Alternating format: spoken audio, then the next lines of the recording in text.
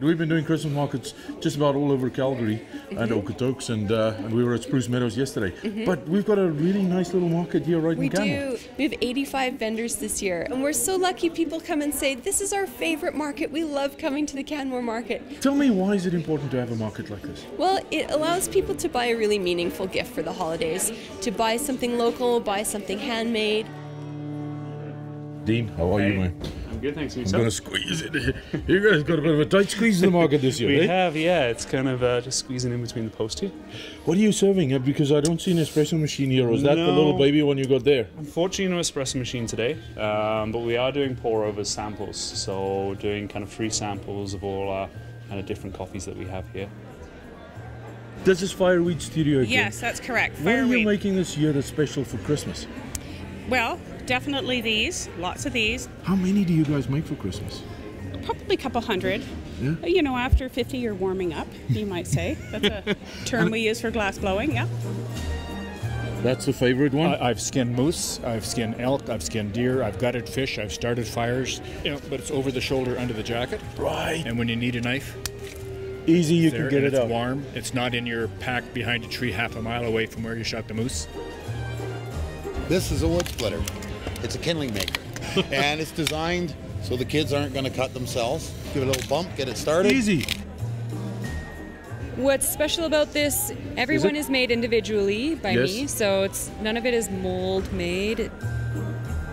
They're little jewelry boxes. Uh, They're lined with, With fabric. felt? And, yeah, with felt. Your handiwork is always outstanding. How long have you been doing this? Well, since I was about 10 years old.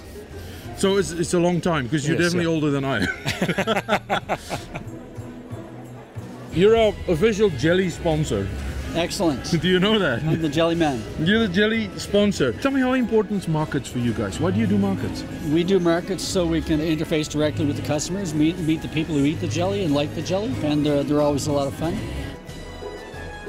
Do you hammer them yourself? Yes, I do hammer them myself. Everyone? Every single one. My mother and I are in business together, and this is a joint venture. I'm manufacturing hand dyed bags, so the canvas is pre washed and hand dyed, and they're built to last a really long time. So we make um, all natural hygiene products for backpacking, camping, and hiking. Belinda, Yes, what's your favorite part of Christmas? eating chocolate. I don't know. I like all of it. Just seeing family. We have seven grandchildren and they make Christmas. Getting the family together at Christmas. Spending time with family and all the good food. Oh, that's a big question.